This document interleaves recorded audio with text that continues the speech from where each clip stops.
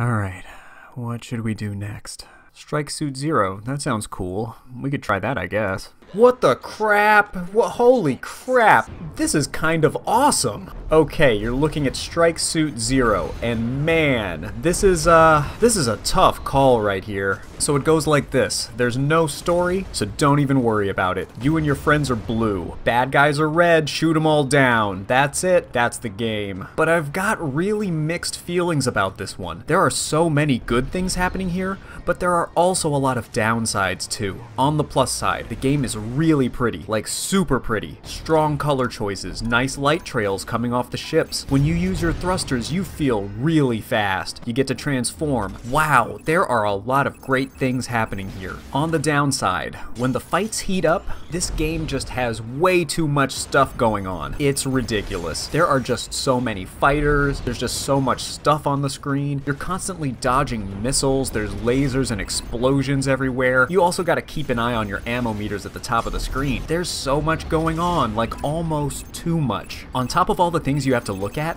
there's a lot happening with the control scheme. So let me walk you through my setup. The left trigger is to speed up, the left bumper is the brake. Press left bumper and click the thumbstick to operate your turbo thrust. Left thumbstick is your main flight control. I set my right thumbstick to control the roll of the plane. D-pad up toggles the machine gun mode, which you actually use. D-pad right cycles my machine gun. Left D-pad cycles my missile types. You're gonna need those too, fairly frequently. Right trigger fires the machine guns, right bumper fires the missiles. You obviously need both of those. E button locates the next target, X button targets whatever's in front of you. You're definitely gonna use those a lot. A button transforms the plane. Y button evades the missiles. You'll also need to hit A and Y a lot. This is all unless you're transformed. When you're in the mech mode, then all the buttons are different. I'm not gonna go into that. I think you get the point. This is one of those games where you need to press all of the buttons all of the time. You have to speed up to intercept fighters, but then you have to slow down to make it easier to target them. You're constantly transforming to take out groups. All the while, you have to make sure to listen to your missile alerts and hit the evade missile button so that you don't die. And this is why I'm torn. Now, I'm getting better at controlling the plane, sure, but it's, uh, it feels like a lot of work. And the game's difficulty is really weird. Some of the missions are really easy, and then right after an easy mission, you have to fight a battle cruiser, which is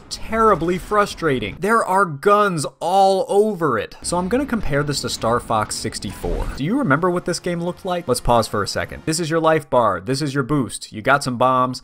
That's pretty much it if you think about it. Star Fox 64 is a much simpler game. Now, it's not a flight simulator, but instead it had simplified controls and simplified gameplay so that you could feel like you were an expert pilot even though you weren't actually playing a spaceflight simulator. Strike Suit Zero takes it to the other extreme. There are so many buttons to press. Can you get good at Strike Suit Zero? Yes, you can, and I'm getting much better at piloting this thing. But I'd argue that so much complexity actually hurts Strike Suit Zero as a game, because it's not easy to just pick up and play. So should you buy it? Ugh. I don't know. And I feel like such a cheap loser saying that because the game is really pretty.